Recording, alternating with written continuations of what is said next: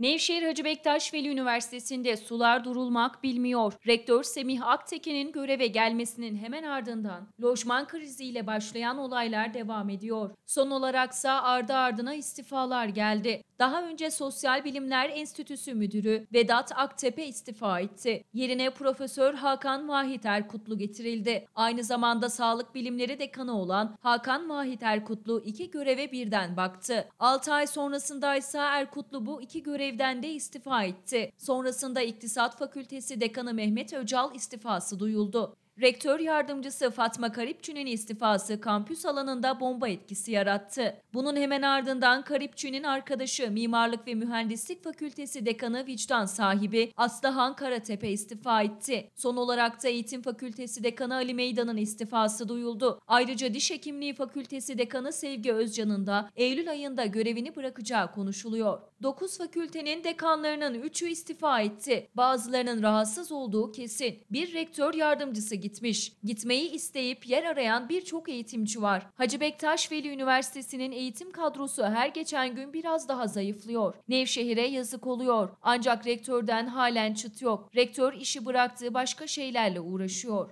Üniversite içerisinde rahatsızlıkları görüp bilmesine rağmen görmezden gelip gözlerini kapatıyor. Üniversite senatosuna da durmadan talimat vermeye çalışıyor. Olup bitenlerden rahatsız olan vicdan sahibi dekanlar ve rektör yardımcısı ise birer birer istifa ediyor. Rektör geldikten sonra istifa eden dekan sayısı 6'ya çıktı. Bu gidişle üniversite dekan ve öğretim görevlisi kalmayacak. Birçok öğretim görevlisinin de Hacı Bektaş Veli Üniversitesi'nden kaçmaya çalıştığı konuşuluyor.